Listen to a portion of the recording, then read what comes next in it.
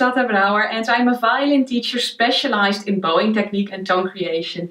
In this video I would like to give you some professional bowing and tone creation secrets uh, for advanced violinists, but violinists of all levels can benefit from these tips.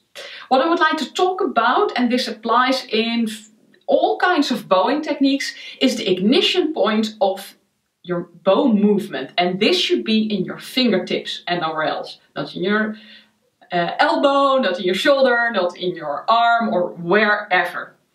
Your fingertips should be leading and actually your right arm should just follow that. So your, your bow hand, your right hand should be really active. And uh, this is a totally different feeling than bowing from your arm like violinists tend to do in the first couple of years. If you bow from your fingertips, uh, you'll notice that a lot of things are easier. For example, if you do martelé, um, then you just have to move your index finger and give it little pinches. And this also makes up bow staccato a lot easier. Because you don't have to do everything with your arm. So you can have a more refined bow motion as you will. Well, for example, in spiccato, you can also apply this.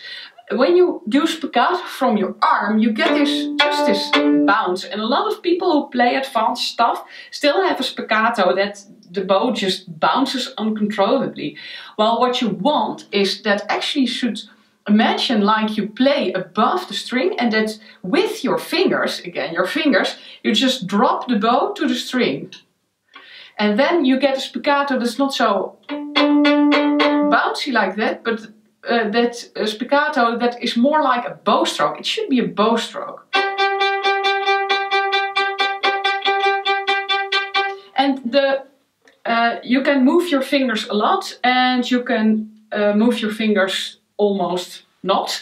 Um, that doesn't really matter. What matters is that the ignition point of your movement is in your fingers. Well, if you're playing legato or détaché, then you'll notice that it's much easier to keep the violin resonating and to smoothen your bow changes if you do it from your fingertips with a right arm that just follows.